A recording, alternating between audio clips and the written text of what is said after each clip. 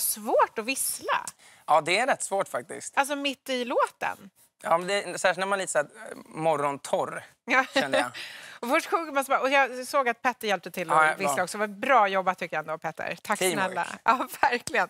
Och också när du satt och visslade så satt Petter och kollade på dig med ett litet leende på läpparna och tänkte, undrar hur det här ska gå.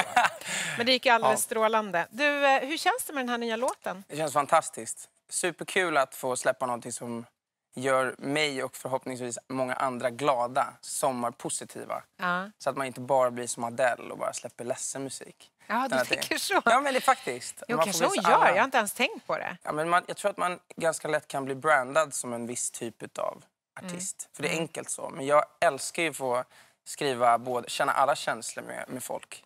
Liksom, genom musik. Men alltså, om man, nu har ju du, du har, hur många gånger har du streamats? Alltså låtar som du har varit med på? Jag läste en siffra en gång, 500 miljoner. Ja, jag tror lite mindre. Men det är bara för att jag, jag kanske, det här är min svenska sida som säger att Jaha, okej. tar det lugnt. okej, ja. Men det går väldigt, väldigt bra för dig och det har du gjort Ja. ett tag nu. Men hur jobbar du nu? Alltså skriver du din, alltså, hur, sitter du och skriver Jag med skriver andra, mycket. åt dig själv, åt andra? Hur jobbar ja, jag skriver ju åt andra. Hur mycket kan jag säga direkt från tv? Nej, du? Är det hemliga saker så behöver du Nej, såklart men jag kan säga en något. kul grej. Jag, har skrivit, jag håller på lite med ett svenskt projekt som Ja. släppte igår till exempel. Ja. Tillsammans med Norli KKV. Ah. Det är helt fantastiskt. Oj, Så vad kul. jättekul. Så jag skriver lite allt möjligt, men mycket till mig själv såklart. Mm. Eh, Det är ju det som är fokus faktiskt framöver. Du har ju tagit steget från att liksom vara en röst som man känner igen men ändå kunna... Jag vet sist vi träffades så visade vi bilder på när du sjöng i tunnelbanan. Just det. Och så här, en av de mest streamade rösterna men som ändå kunde vara på tunnelbanan och sitta och sjunga och folk bara Ja. gick förbi och tyckte det var kul, vilken rolig kille. Nu väljer du att stiga fram. Ja, Varför då? wow. ja, men det har väl blivit så lite naturligt tror jag. Att man kan nog inte riktigt. Det är som Sia liksom. Folk blir ju intresserade också till slut. Mm. Liksom. Vem, vem är hon eller vem är han? Mm. Och då blir det lite naturligt så. Ehm, men jag känner mig så sjukt vanlig alltså. Jag gör verkligen det. Alltså du känner dig vanlig? Ja men alltså inte så, det, men med det här med att spela i tunnelbanan och sådär. Det är ju det är där jag började. Alltså det är sådana saker jag gjorde hela tiden. När jag bodde i LA till exempel, då spelade jag på Hollywood Boulevard med alla clownerna typ. För att jag skulle, nej men verkligen, för att jag skulle ha råd med mat. Alltså man kommer ju därifrån. Ja. Man, alltså, så, så länge som man har gjort det här så har man ju bara drivits av passionen för musiken för mig. Och eh, det leder ju mig in på det här med Tim. Ja, Att där var jag och Tim väldigt lika, ja. till exempel. Han drevs också av kärleken till musiken.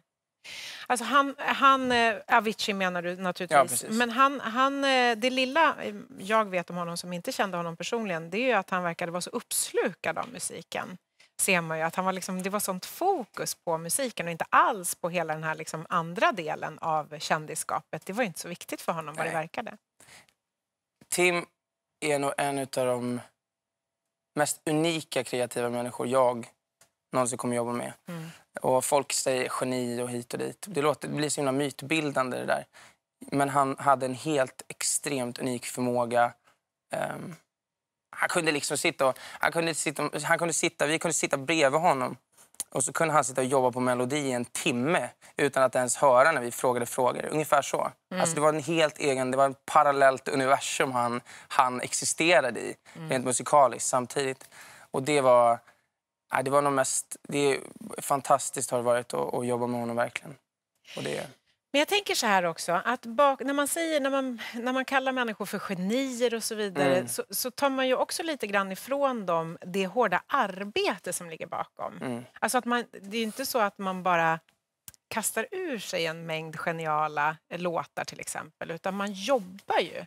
Och det tänker jag överhuvudtaget i LA, där du ju faktiskt bor och verkar, Mm. så jobbar ju folk väldigt hårt. Ja, alltså, så är det ju.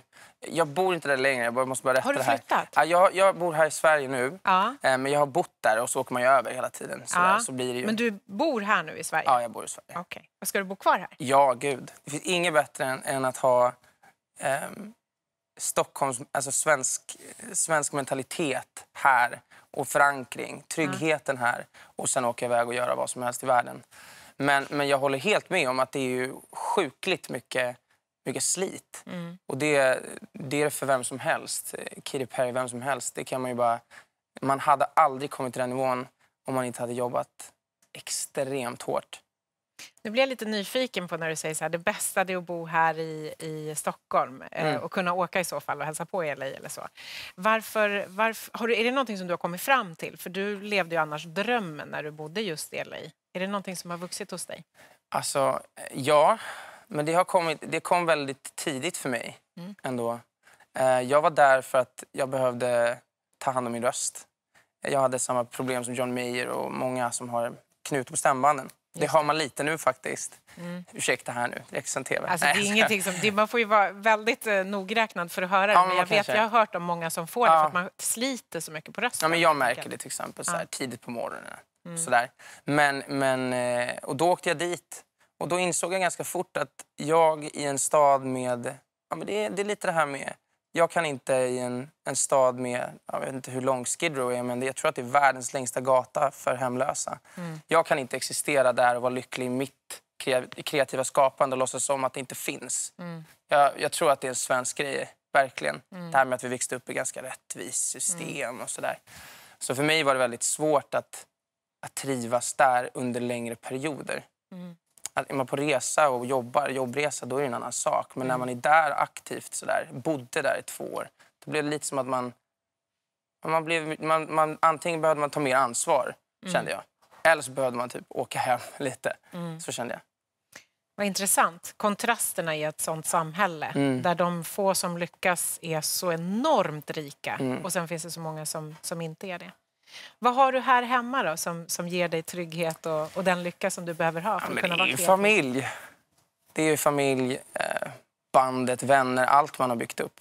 Mm. Det, är ju, det är ju det jag mår bäst av. Mm. Segelbåt. Åh herregud vad jag ska segla i sommar. Har du en segelbåt här i Stockholm? Mastade på den igår. Du mastade på den? Ja. Okej, jag, som du hör nu när jag Ja, ställer är frågan så jag är ingen Nej, båtmänniska nej. själv. Okej, det- men det var... Det, det tar tid alltså.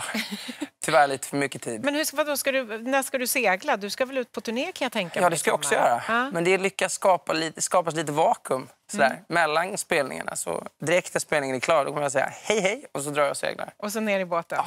Gud. Men du, hur ser det ut på riktigt? Hur ser det ut med turnerande och sådär i sommar? Eh, juli kommer det mycket. Ehm, Men är det i Sverige, är det i Europa, ja, det är är det världen? Det är Sverige. Ja. Jag, jag känner ju fortfarande att jag måste liksom göra mig lite bekant med alla här. Mm. Det är väldigt många ställen jag inte har varit på. Mm. Det är fantastiskt att komma till typ Skellefteå. Eller, Mm. ehm, ja, det, det känns som att folk uppskattar musik fantastiskt mycket Mm. runt om i Sverige. Liksom. Här i Stockholm finns det ganska mycket. Kan jag tänka mig. Så här, mycket olika events och så. Mm. Och Men- klubbar och Ja, men när det är stadsfestivaler och sånt där, då är det verkligen allt fokus på den. jätteroligt. Ja, det är, det är helt fantastisk publik. Och norröver också i just den här Mm. årstiden när, du får liksom, när det är verkligen ljus dygnet runt. Det blir ju magiskt. Ja, så kanske man eh, ser ett norrsken eller två. Ja, kanske. kanske. Men du, så att du kommer turnera hela sommaren och åka segelbåt. Och sen då? Vad är liksom målet? Du har, upp, du har liksom uppnått så mycket vad gäller liksom lyssningar och så. Hur sätter man upp nya mål för var man vill hamna i livet när man är Ja. där du är? Men milstolpar finns det ju alltid. Ja. Till exempel nu råkar det vara så att man har två topp 10 i Sverige samtidigt. Fast det är kanske inte någonting jag drömde om, men det känns ju fortfarande hur fantastiskt som helst. Mm. Ehm, det, jag vet inte riktigt. Jag är så tacksam för alla små steg på vägen. Mm. faktiskt. Det är inte... Alltså jag, min dröm har ju alltid varit att jag ska skriva musik och kunna jobba med det. Så det känns ju som att där är man ju. Och det är bara att fortsätta göra det. Och alla de här små, alltså varenda spelning, alltså får man en ny låt, det är ju, som, det är ju världens bästa drog. Liksom. Finns det någon artist, eh, när du skriver inte till dig själv utan till andra, någon sådär som du drömmer om att om jag får Uff. höra den här artisten framföra någonting som jag har skrivit, Wow. då är jag där? Ja, alltså Chris Martin hade det varit. Ja, Utan tvekan. det är liksom... Ja. Ja. Han har faktiskt sagt någonting om en låt som jag har skrivit. Han, inte till mig, men, men du vet, så här, indirekt har man fått höra det. Är det sant? Ja, det Kommer här- du inte ihåg vad han sa? Vilken Jo, det var ju om den här låten som jag och Tim gjorde. Eh, Gonna Love You. Mm. Då sa han att it sounds like a classic. Det, alltså, det, jag menar, det, det har ju ingenting att göra med mig egentligen, förutom att jag skrivit låten. Det Men har väl allt att Jag göra bara, med dig? Wow! Men han visste ju inte vem jag var. Det vet han fortfarande inte. Men efter det här kanske. Ja, Chris och jag. Wow! Vad vi ska hänga alltså. gud vad Vilken roligt. dröm. Ja, det kommer, du kommer säkert att nå det målet. Jag hoppas att du har roligt på vägen dit bara. Absolut. Stort tack för att du ville komma hit Tack för att jag fick komma. låten. Du är så välkommen tillbaka när som helst. Tack.